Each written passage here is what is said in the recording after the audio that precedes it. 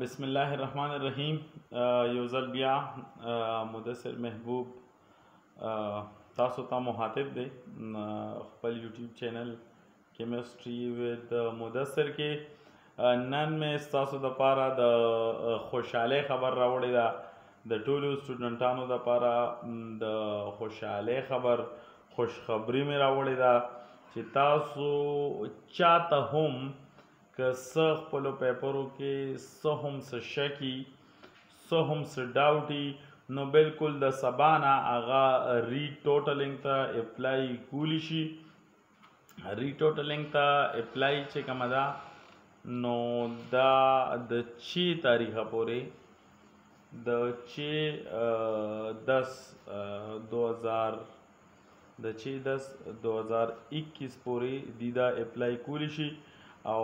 بل دا خبره چې د بورډ کم چیرمن دی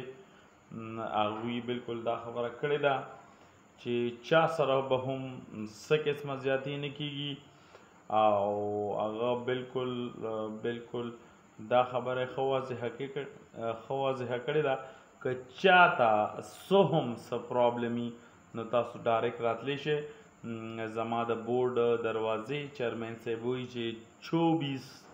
چوبیس ګنټې ستاسو دپاره کولاوي دي، د چیرمین صیب بل پیغام چې مونږه دانه غواړو چې زمونږه ماشومان زمونږ سټوډنټس ته خراب شي دا غي د خکېدو د پاره چې څه هم زمونږ نه کیږي نو مونږ بکو او ثانک یو ویری مچ ثانک یو ویری مچ خو دا یو خبره وره